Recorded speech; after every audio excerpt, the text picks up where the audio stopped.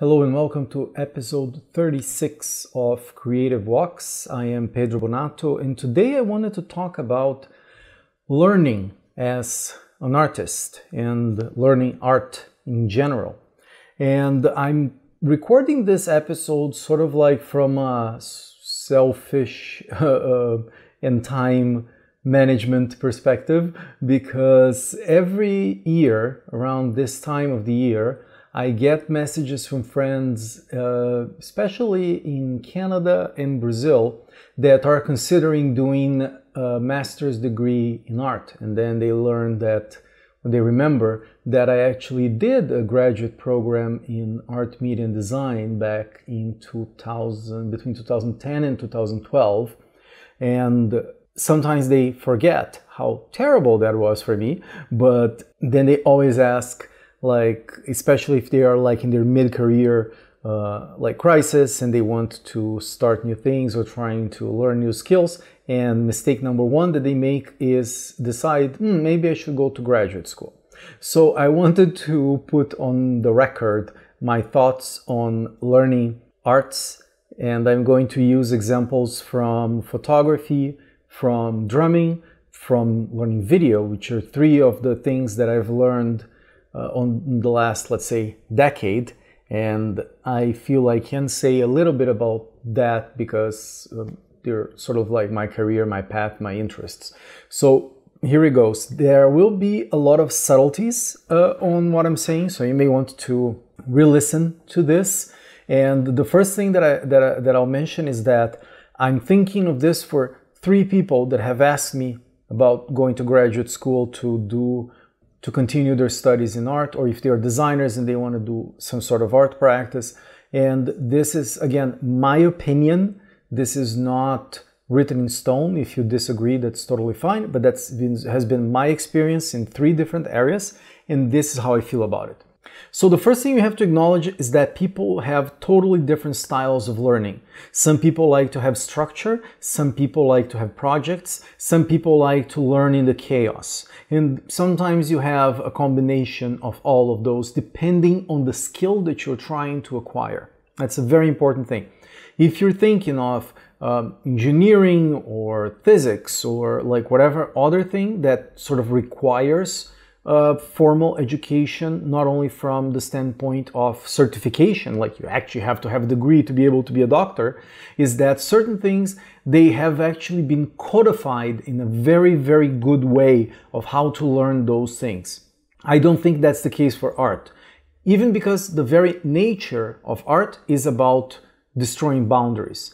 I even remember seeing that some of the mo- most uh, impressive, uh, predictive, I should say, indicators for if you're going to be in school is your conscientiousness in the big five uh, personality trait and your IQ. And creativity was actually, which is the trait openness in, in psychology, is actually a deterrent because there is no way to test those things properly. So if you are a very creative person, when you're put into a school system, you are actually not being rewarded for that creativity. That's why you have so many people that like flunk out of school and they, they become these big shots and different things. And the very few people that I know of that are amazing actually came out of school or if they came out of school they don't say that it is because of school but it is in spite of school this is my bias, this is my experience. So here are my suggestions for people that want to start learning uh, skills in art. So let me just start by saying that I think it's very different when you're learning physically based skills. For example, drumming when you're learning it is very, very different than learning photography from a mechanical point of view, because as in drumming and I believe in dance or martial arts or anything that it's good to learn certain physical traits or like a, let's say quote unquote proper way to do a specific technique. The way that you start learning it will influence how you do it through the rest of your life. Can you change it? Yes, of course you can. But the way you start will dictate a lot of what you do. So in the case of physical activities, I would recommend that you actually have some sort of like a more formal training in the beginning. And I know that there's a lot of ways of learning things online, and I certainly am a big advocate of it. But I think when you have your first encounter, you can have, of course, an online component, and you're going to talk about it, but having someone to actually show you and at least even if you're having like a distant learning situation where the person can sort of like show you for example in drumming the hand positions or like certain things that you're doing that you're not even aware that that will be a problem in the future i think it's very important that you can actually have a more formal learning style for that with that said, with most other things that you're going to learn in art, be it drawing or even photography or video or whatever else you're trying to, to figure out, the best way to do it, in my opinion, is a combination of online resources even for you to get started. There's a lot of things you don't need to pay $200 for a teacher to go and tell you the basics when in an afternoon you can go on a course, let's say on uh, Udemy or whichever other platform you're trying to find, and you can get the basics. Same thing goes to any kind of software you need to master in order to advance that skill. You can find online resources that will take you step by step. Sometimes they're free, sometimes they're paid we're going to talk a little bit later about resources, but those things, it's all about the experimentation. And it's not like you're going to have an accent or a tick when you're a photographer. You can go, you take a photograph, you see if it worked. If it didn't work, you slowly learn through it. So that's the first thing, like uh, check to see which kind of activity you're thinking of starting. And then um, the first thing is get your online courses. And if you can, get a one on one or a group class to get it started. The main advantage of traditional learning and of um, a formal learning setting is not even the information that will give, be given to you because they cannot compete with the best people in the world teaching, which is what we have online. It is the community and the structure of learning. So that's a problem, let's say, on you more than on the platform itself. That's what you're buying when you're getting into formal education access to people and uh, a structured learning. And about that, some people consider, for example, graduate school as a way to go to have a community of artists and things like that. It is certainly true some of my best friends are still from that era and it can open some doors for you for sure, but I think it's a very inefficient way of doing it and it will screw up your brain in other ways that which we'll talk about later and I have my little rant about graduate school. But going from online courses and that one-on-one mentoring thing that you can have, um, you can always go to specific workshops to learn different things. So that's one thing that I highly recommend doing whichever kind of uh, activity you have. And that is the great key for community building and getting new skills and new ideas, which is to go to a workshop where people are going to be discussing and talking about specific things that you want to learn. The other source, more like on the online uh, uh, part of it, that I think is very important is, of course, you have books, podcasts, audiobooks, specific websites forums, you have YouTube, you have all sorts of online uh, schools to learn things. But the problem is, again, you have to rely on your own uh, resilience to keep going and keep studying. And one of the things that I notice, at least with me, that happens a lot when you get these online resources is that you do not have assignments. And even if you have assignments, like in school, that you have to be dragged out to be able to do those assignments, you're not going to do it. So you it becomes a little bit too passive. And if you are a person that needs to do things in order to learn, and I think all of us are to a certain extent that, uh, we need to have this um, input that makes you do things. To me, the best way to do that is to have a project. That's how to get into this uh, third thing that I learned was uh, video, like learning how to film and how to edit. In those, I uh, like for those skills, I actually used only online resources based on my projects. I had to re to record this video. Okay, how do I do this? How do I use the camera? How do I set it up? And then I go and I do it, and then I see what went wrong, and then I go and try to learn how to edit. I get online, see the software, see how what I can do, check specific um, videos that I really like, and then I put that video inside the, the software for editing. I break it down myself and I try to figure out what that person did for the editing. So I had this experience where I had very traditional learning for drumming and then I went into doing it. For photography, I had a little bit of a, a training in the beginning on a course, but that was when I was like 15. And then I got back to it during my graduate uh, school and I didn't learn photography in graduate school. I learned it in online resources, specifically uh, Creative Live. There's a very cool website where you can learn a lot of, a lot of artistic things. But with video, it was completely uh, self-taught. Like I didn't have any contact with any videographer to learn how to do that. One of the big disadvantages of that is that I was learning things that I needed on a need to know basis, sort of like they're very practical. And although that can be very, very cool, you actually have to go through a lot of mistakes when you're doing that. And so sometimes those mistakes can be very embarrassing. And if you were in a more formal environment, you would have gone like through them much easier. You're going to be in theory rather than disaster in practice. But considering all the things that I want to learn now, uh, and that I, thinking about this actually helps me map out the strategies. I think it must be a combination, especially like in 2020.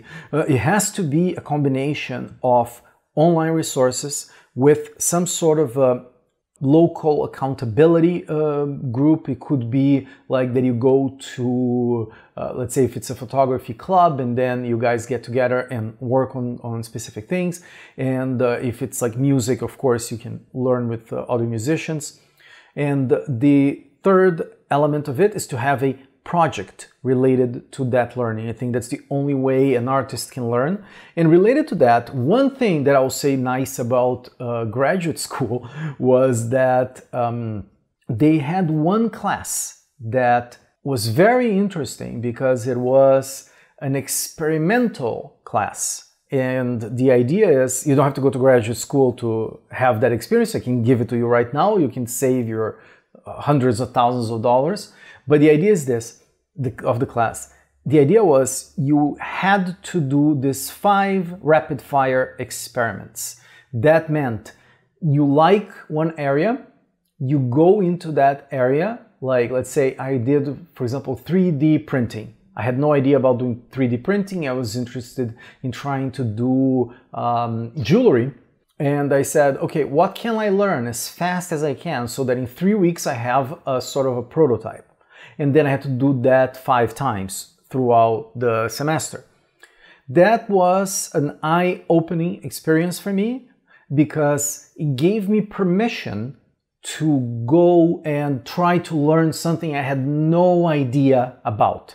And that actually helped take the stage fright that a lot of artists have. It's like, oh, but I'm this, but I'm not that. Oh, I'm an I'm a painter, but I am not a photographer dude, in 60 hours you can learn everything you need to know about photography. That will be like the 80% that you need to do your craft or whatever you're trying to think, unless you're trying to become um, like Sebastian Salgado or like some big shot photographer and you want to master the art, then of course that's a lifetime. But to be proficient at that skill, you don't need to. And this idea of this class, which was have this rapid fire experiments. That was invaluable, and I would um, highly, highly recommend that you take advantage of that. That's a way, in a way, it's like your artist being a scientist. You're trying to experiment with things. The second uh, level of that class was somewhat interesting as well, was that you had to do, get one area out of those five and really relate that to your main artistic practice. So, for example, let's say you are a sculptor and you picked up a film. For example, you want to do a short film or you, you did something like that. So now you have to, co to combine the two elements, right? And that can even become like um, multimedia kind of a thing because you're going to be having two areas talk to each other. Or even for example even if they're not being like woo crazy like uh, i'm going to do a sculpture about a film and the film will be a sculpture in itself and all the postmodern nonsense uh, you can have for example you're a dancer and you want to see how to incorporate dance moments in the cutting of a film. So you're using two different areas. And I think grounding that first experience on this new area uh, on your own practice will first be very uh, useful because you're going to be able to use it right away. And second, it will ground your experience in something that you know. So whenever you encounter problems, you would actually think, hmm, how did I solve this on my main practice? And the other thing that I wanted to mention is this idea that uh, whenever you start learning a new skill uh, over time, like, and I've certainly noticed this in drumming, photography, video, and other things too, it's like there is this strange dichotomy that is when you compare how far you are from whoever you're modeling yourself to. Let's say that there is this amazing sculptor and you're trying to learn sculpture, and all your work you are comparing to that ideal right? And then you don't, you think you are so far away from that ideal that it can get you discouraged. But the dichotomy is that you actually are completely oblivious not only to how far you are for that model, because you could be much, much, much closer to it than you think. And of course, you will only find out by continuing doing it. But the interesting thing is that people don't realize is that if you look back to see how far you have come. Usually you forget all the difficult steps you went through, including even deciding to start to learn something as an adult because every single thing conspires in your life for you not to quote unquote waste time on things that are not quote unquote profitable or things like that. So the whole world conspires to put you against uh, the odds to actually learn something new. So you really don't see how far you have come just because you have started it. And even like if you, let's say you've done something for like six months, uh, unless it's like a really, really difficult thing, like a very difficult instrument, you will see results if you do this combination of online learning and um, uh, if you can, some sort of a one-on-one kind of a thing or a group class and a project related to it. Um, so finally, the other thing I wanted to mention was that um, if you want to try to find resources online to learn things, in art, it has been easier and easier and easier to find those things. And I'll recommend one resource, actually a couple, but so the first thing is if you want to try to hack learning better uh, in a better way, uh, you can go and look at uh, Tim Ferriss, the author of uh, Tools of Titans and 4 Hour Work Week and all that. And if you just Google his name and learning, he, he has a lot of interesting ways to hack learning. And it's uh, quite quite useful to think in, in those terms if you are of a more um, if you need to optimize things to justify the fact that you are doing it right? So that's one resource to go and take a look. Then if you want to learn skills in um, art, and that can be the ones that I've done are in uh, photography, some things in video, I would recommend look, if you're looking at software, go to lynda.com, Lynda with a L-Y. Uh, I think they were bought by LinkedIn, but you will find it. You can even get like a free trial and go and learn whatever you need to learn for like 30 minutes. I recommend taking a look on YouTube. There are so many good resources there, but again, they're not curated. So you have to find some bad courses in order to find some good ones. Another one that is kind of interesting too is one called Udemy. Uh, they're, I don't know where they're based, but they have like millions of uh, people uh, working on that. I even created a couple of courses with my wife there, so I'm familiar with the platform. I think it's a very interesting way to combine the traditional learning experience, so you have classes and assignments and all those things, but distributed online. And the third place that I would recommend uh, for you to go see is like go look into your specific area if there is specific um, courses that you can take. There is one, for example, for photography, there is Phlearn and there is uh, uh, RGG, IDU, there's like all sorts of things. And I think for every area, there will be some interesting ones. The one that I'm looking into these days that I think I'm going to purchase for the next uh, over the next couple of uh, months is one called Masterclass. I took a couple of courses with them a, a, few years ago, and it's interesting because they have some of the best people in areas like acting and writing. They had like Neil Gaiman, which is the course that I read that I saw.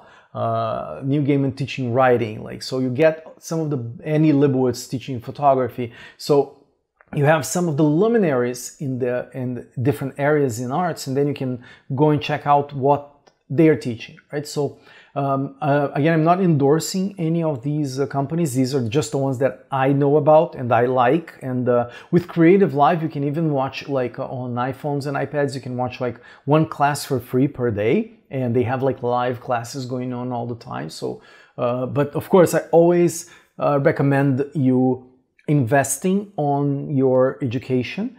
And one last thing that I wanted to mention is whenever you go into learning something new, as we mentioned before, there will be the phenomenon of resistance that uh, that we mentioned from the book The War of Art.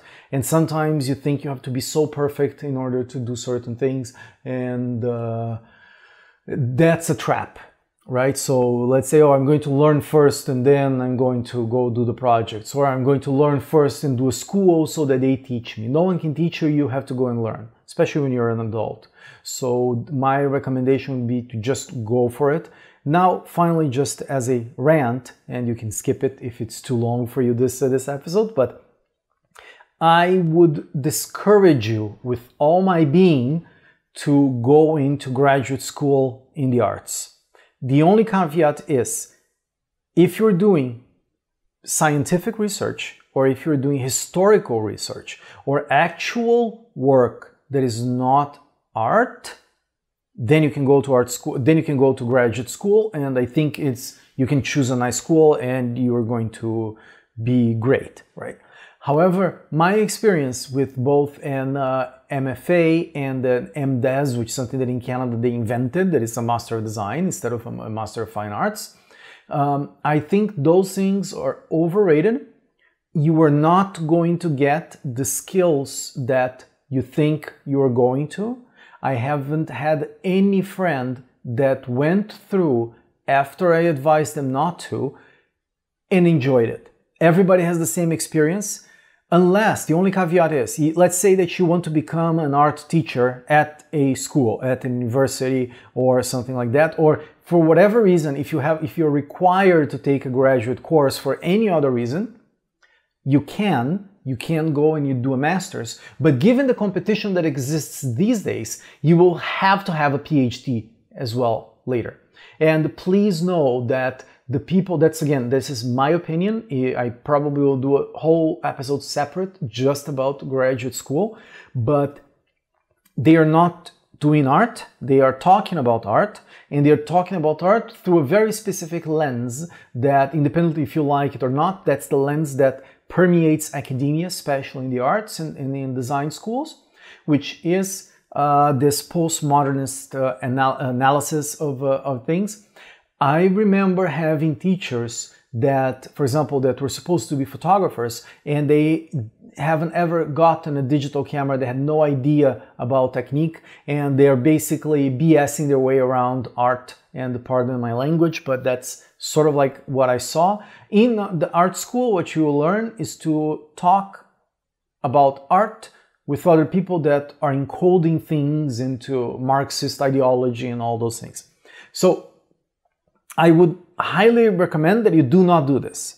Uh, you will spend too, way too much money and you can um, think that, oh, maybe I can teach or I'll have this great experience. It's a very insular system it will make more bad things to your creativity than good things because they are not about actually creating new things, they are about pomposity. And there may be some very cool schools, maybe in design it's a little bit different, but all the things that I've seen in art, in universities, they were all complete snake oil, horrible things. So if you're thinking about that, uh, again, my last warning, let me know about your tears after you've done it if you decide to actually go through with it. But it's not the answer if you actually want to learn something. It's really sad because I always think of uh, like Renaissance times, and you have these great uh, students that would come to the uh, artists uh, like studios and um, practice and be apprentices and all those things. Like uh, that doesn't exist. And unfortunately, the people that, and again, I'm generalizing, it's not true for everyone, but it is a great percentage of the people that are teaching in art schools. They are they used to be artists or they are wannabe artists. They're more like critics of art rather than artists themselves. So that is my little rant about learning. I hope this was useful to you. I highly, highly recommend that you actually go and follow your curiosity, open those portals and go learn something uh, different. But try to find this combination of online and presential learning and uh, project based learning and try to find the best combination for you and go learn something new and create something beautiful. So I'll see you tomorrow.